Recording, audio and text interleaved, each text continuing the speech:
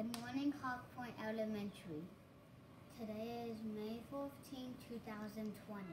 Fun fact today is Dance Like a Chicken Day. Can I get a woohoo?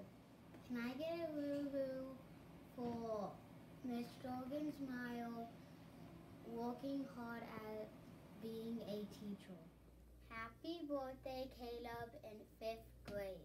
Now stand for the Pledge of Allegiance. Pledge allegiance to the flag of the United States of America and to the republic with which it stands, one nation, under God, indivisible, with liberty and justice for all. Have a great day, Hawk